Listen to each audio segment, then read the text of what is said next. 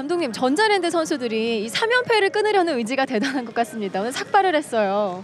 네, 뭐 어제 저도 좀 깜짝 놀랐지만 그 지금까지 뭐 경기력을 봤을 때는 선수들이 그 비시즌과 또 1라운드 끝나고 그 매 순간 최선을 다하고 준비를 잘 열심히 하는데 좋은 결과가 안 나와서 사실 감독으로서 선수들한테 미안한 생각이 좀 듭니다. 네. 네. 자, 현재 포엘 선수의 부담이 커지는 상황 속에서 주태수 선수의 역할이 중요한데요. 사실 좀 일찍 복귀를 했습니다. 몸 상태는 어떤가요? 지금 뭐 원래는 12월 중순 복귀 예정이었지만 이제 본인이 그 재활을 잘 견뎌내서 지금 복귀는 했지만 아직 몸 상태는 한 75% 80% 정도 되는 거 보는데 그 조금씩 조금씩 경기 몇 분씩을 투입을 하면서 그 경기 감각을 좀 끌어올리고 그 코트 바란스를 좀 맞춰가야 될 것 같습니다.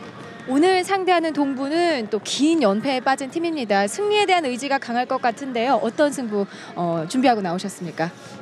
일단 뭐 저희 선수들이 그 승리의 매 경기 승리의 열망은 쉽게 보다 어느 팀보다 더 강하다고 봅니다. 근데 너무 그쪽으로 생각하다 보니까 그 좀 더 자신 있는 플레이 그런 상황들이 자기들이 본인이 좀 해결해야 될 플레이들을 그 좀 더 자기 실력보다 못 보여주는 것 같고 그래서 저 제 입장에서는 감독으로서는 그 어떤 승리의 부담감보다는 선수들이 코트에서 자기 기량을 발휘할 수 있도록 좀 자신감을 심어주는 그런 좀 지도력이 좀 저도 좀 많이 필요하지 않을까 생각합니다.